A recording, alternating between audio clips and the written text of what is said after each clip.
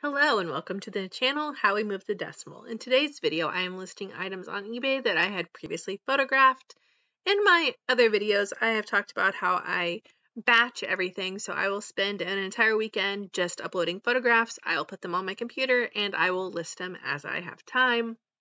So that's what I'm doing here.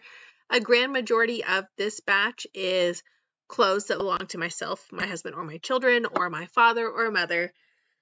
Um, like I've said in previous videos, I am getting woefully close to the bottom of my death pile, which is both invigorating and terrifying at the same time. I like to have enough to um, get me through the winter because apparently I am a squirrel and bury nuts in the form of thrifted items that I can sell later on. And it, this weekend was a great example of that. Um, over the holiday weekend, we got influenza A. We couldn't go anywhere, and I was taking old items that I had previously put in my death pile and I was listing them, and they were selling, which was terrifying and great. I will say my sales this year have been down compared to last year, and I have um, almost 200 more items in my store, but I'm kind of not surprised by that. I'm expecting it to be lower because you know, whether people say we're in official recession or not, inflation is insane and people barely have money to buy food. So I can understand them not buying used clothes on eBay, which the things I listed this weekend and sold was not a single clothing item, mind you. They were all hard goods, and hard goods are really not my bag. They're more my husband's. He's better at picking them out, he's better at listing them than I am. I lose interest very quickly. I prefer clothing. I can get in a rhythm. I could do um, them fairly quickly. Where hard goods, it takes me a long time. I like to look them up first before I list them. So there's that. But since we were down with the flu, we did have some time to list some stuff, which one, I found more items that I had not listed on eBay, and two, I couldn't believe how low I was on my death pile. Now, these jeans I'm listing were actually my father's jeans. My father died all the way back in 2005, and we had just put all of his clothes in a tub in my mom's basement until we were ready to emotionally go through them, which was 15 years later. Um, and now we're finally getting rid of them and listing them. I will say he was an otter size, so these have actually been selling better and I, some of his vintage shirts I did keep, I couldn't get rid of, but this is how low I am in my death pile. I recently had a another family member die and their wife gave me a lot of their clothes and I haven't listed any of that stuff yet. So I will have to go through and do that. I have not been through to a resale shop, thrift store, whatever you want to call it. I have not been to one since September I do need to go to one this week pretty badly.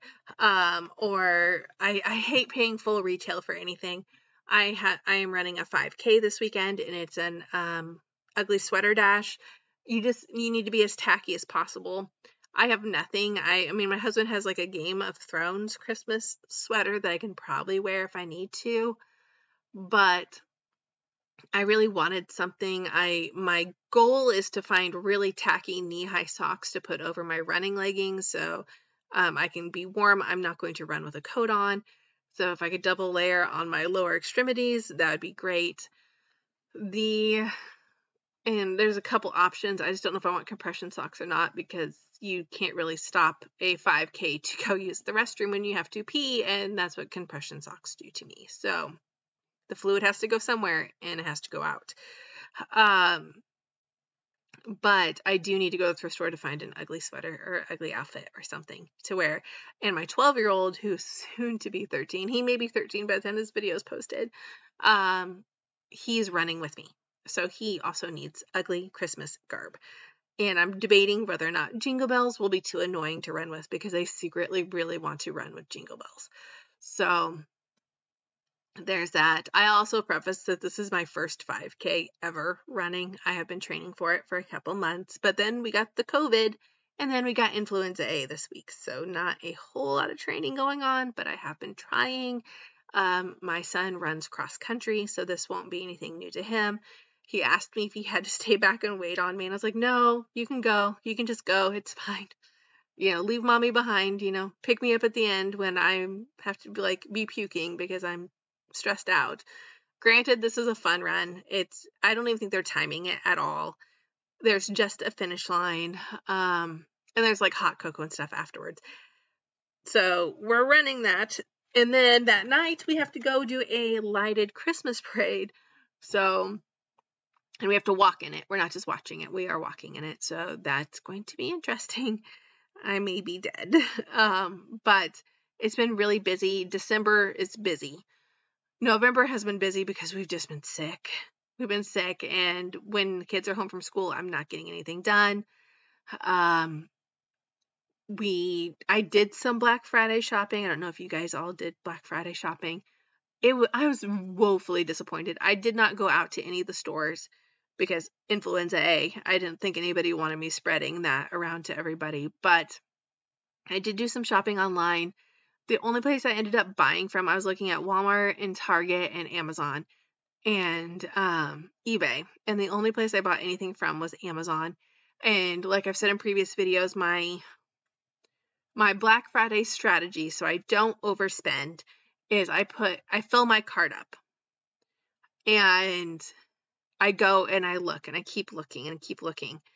And like what my big purchase, and I can say this because it's not a present for anybody, it's a present for myself. My big purchase was a new vacuum cleaner. This vacuum cleaner normally sells for $199. And I said, if it gets below 150, because the lowest I've ever seen it was 159. I said, if it gets below 150, I will buy it. So it was in my save for laters on Amazon. So I saved it for later. And with that, so what I was saying with the vacuum cleaner. Sorry, I had to take a drink. I'm still coughing and hacking. I don't know if it's the flu. I don't know if it's COVID. I don't know if it's random something else. I have no idea. So the um, vacuum cleaner. It was on my Amazon card. I'm like, okay, if this if gets if this gets down, I'll buy it. Thanksgiving, I looked at it a couple times. Granted, this is all a fever dream because I had a very high fever, and you probably shouldn't shop online when you when you're like slightly delusional and sick. Um, looked on Thursday, nothing. It had no sale at all. Looked on Friday, and it went down to $129. So I'm like, cool, I'm going to buy this for $129. That's going to be my big Black Friday purchase. So I did buy that for $129. I bought a couple other little things here and there. None of them presents. I have no presents for anybody. Nobody gets presents this year. Mommy's stressed. Um, but it got delivered yesterday and the USPS was delivering it, not Amazon. And um our houses are weirdly numbered. I'm not trying to dox myself. So our houses are weirdly numbered, like they don't go in order. And like um 20s are mixed with like six, you know, one through six is mixed in with the 20s and so on and so forth. And this poor USPS driver drove by my house three times and he unloaded this vacuum cleaner three different times. I'm watching him stop at other houses with this vacuum cleaner because they Amazon just shipped it with a label on the box. Thanks Amazon. And I'm like, that's my vacuum cleaner. I know that's my vacuum cleaner. So finally, on the third time around, I flagged him down. I'm like, are you looking for blank address?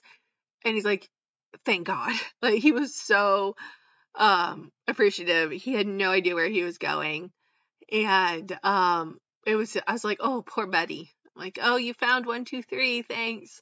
And he just he didn't know he uh, yeah and this is the year where they they hire a lot of seasonal help so these people don't know our area and my neighbors will get my packages i'll get my neighbors packages mind one neighbor on one side won't walk the package literally 20 feet to my house they send it back uh, it's happened more than once, and it's so freaking frustrating. They return to sender it. Um, they put like package denied instead of literally walking it 20 feet to my house. I've went and taken my packages off their porch before, and I feel like a porch bandit. And I'm like, no, these are mine. I promise. I'll show you my ID. Like these are my packages, And I know Scrooge McDuck over there is going to send it back. And it's going to take me like 60 days to get it back. So if I get it back at all. And I mean, I guess they're not keeping them to them for themselves, which is great, but oh my gosh, I've had bills and stuff circulate for 30 plus days because this person sent it back instead of literally walking it 20 feet to my house. Um, so yay, it's that time of year. My other neighbor has a ring doorbell and they got my packages more than once and I've had to ring the doorbell. I'm like, these are my packages. This is your package. Like, sorry. So, um, I've had to do that. Thank you for listening to me rant and please like and subscribe and watch my other videos. Have a wonderful day.